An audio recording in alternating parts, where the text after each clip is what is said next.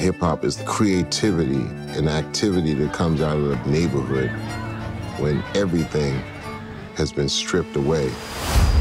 To understand how hip hop emerged from the poorest, most oppressed borough in New York City, you need to go back to the beginning.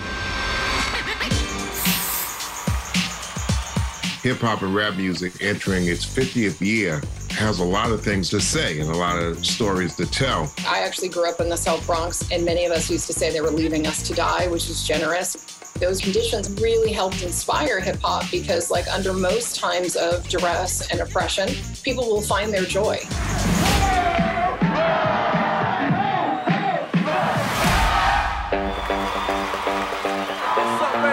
For this film, we have a lot of voices that are usually not heard.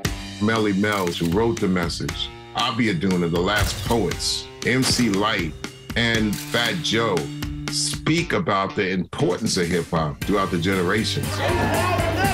We wanted to tell the story of hip hop's role as speaking truth to power.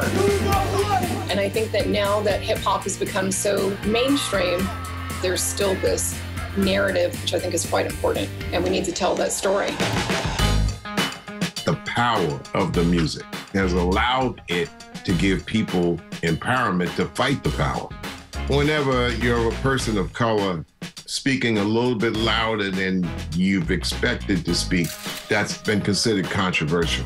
But hip hop has actually been able to say, you know what? We can speak loud, we can speak the word, we can speak the right word and make it happen.